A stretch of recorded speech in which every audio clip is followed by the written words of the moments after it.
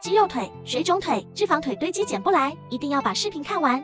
需要用到品身体精油，一个刮痧板，把精油倒在掌心，搓热，均匀涂抹在小腿上，可以涂多一点。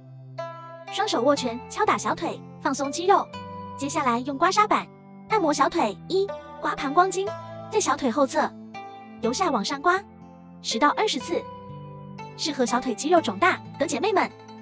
二、刮胆经，在小腿外侧从下往上刮十到二十次，加速代谢，消除水肿。三、刮肝经，在小腿内侧脚踝从下往上刮十到二十次，畅通气血，强身健体。四、拧放松，虎口左右交替向上拧。放松刮痧后的小腿，这样你学会了吗？记得关注、点赞、收藏。按摩三分钟，美丽又轻松。